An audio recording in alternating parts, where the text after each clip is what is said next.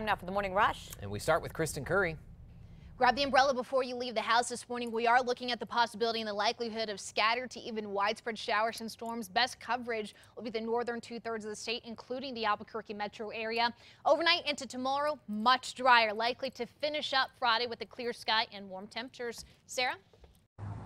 Four officers are on standard administrative leave and a suspect is recovering in the hospital after an officer involved shooting in northwest Albuquerque.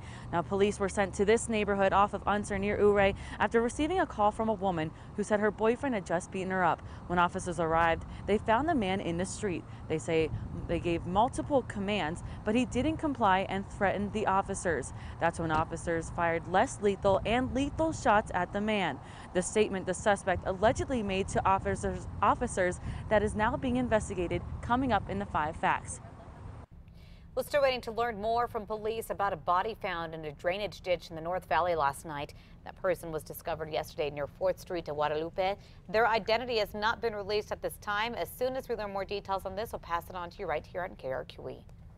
New this morning, an investigation is underway into an ambush-style attack on five U.S. Army Special Ops forces in Africa that left three Green Beret soldiers dead. The two other American soldiers also hurt in that attack are said to be stable.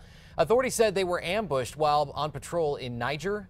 A group affiliated with Al Qaeda is suspected to be behind that attack. As you wake up today, police are still trying to figure out who shot at two school buses carrying high school athletes in two separate towns. The first bus was hit around 8:30 Tuesday night. Two windows were shot out. One student had cuts to her face from the glass.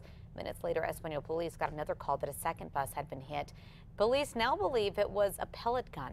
Happening this morning, police are asking for your help finding a brazen home burglar before he strikes again. This is home surveillance video of that incident that happened back in May near Girard and Catherine.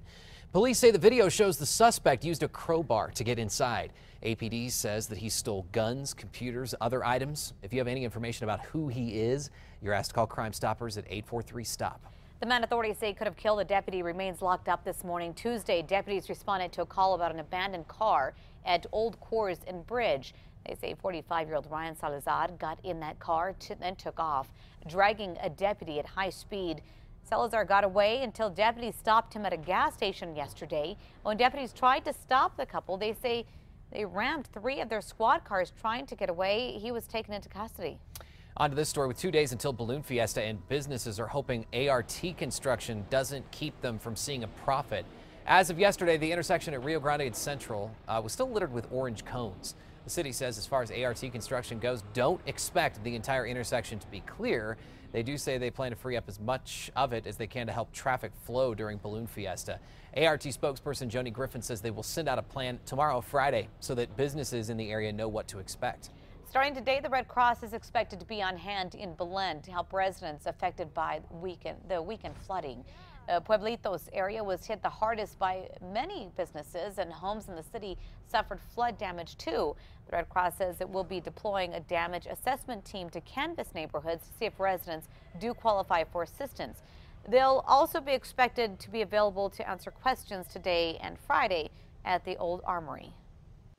Today's Metro Threat Index up to a 5. We have more scattered to widespread storms on tap. Flooding continues to be a top concern, but don't be surprised to see a little bit of thunder and lightning in the mix, as well as some uh, uh, gusty winds, small hail. It's the same kind of thing as what we saw yesterday. The good news is, though, Metro Threat Index likely to come down significantly come tomorrow and over the weekend. Adam?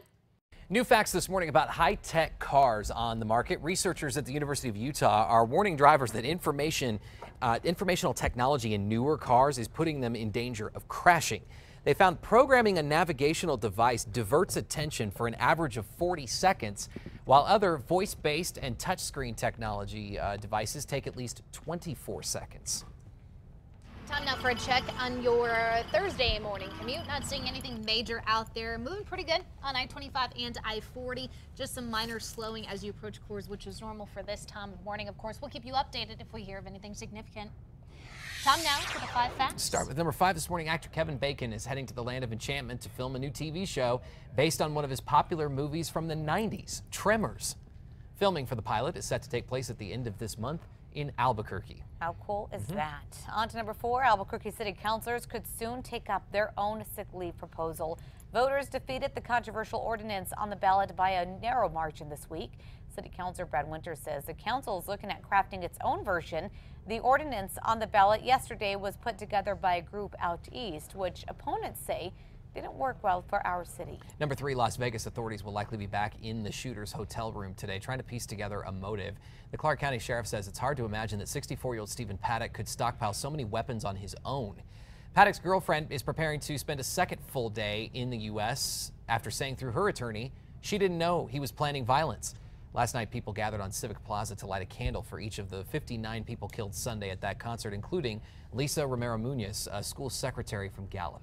And number two, more scattered storms expected today. Temperatures in the 70s. Don't be surprised if some of those turn strong to severe. Top threat will be flooding, although drier conditions and warmer temperatures expected tomorrow. On to number one now. We're expecting to learn more from APD this morning about an officer involved shooting. Four officers are on standard leave right now, and a suspect is recovering in the hospital. It happened late last night in a West Side neighborhood. Police said they got a 911 call from a woman who said her boyfriend had just beaten her up and that he was possibly armed. When police got there, officers say the 32 year old suspect would not comply with their commands and made some type of threat toward them. According to APD, officers fired both lethal and less lethal rounds. No word on if a, the man also fired shots, but they do say they found a gun on scene.